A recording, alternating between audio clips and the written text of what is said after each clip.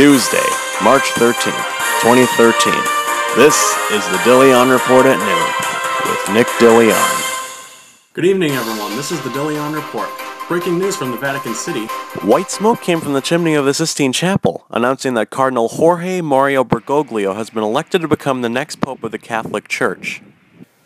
I anticipate that Francis would be as wonderfully holy as Pope John Paul II. I'm glad that as a Catholic priest, uh, to tell the congregation and to teach them how um, to pray for him the same way we would focus on praying the Rosary. Bergoglio is to go under the name Pope Francis, meeting with Argentinian President and U.S. Vice President Joe Biden.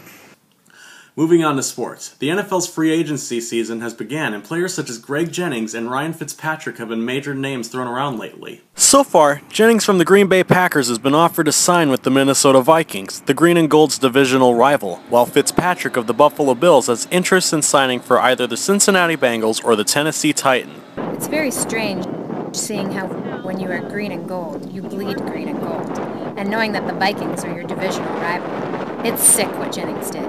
It's all for money, and it makes me want to puke.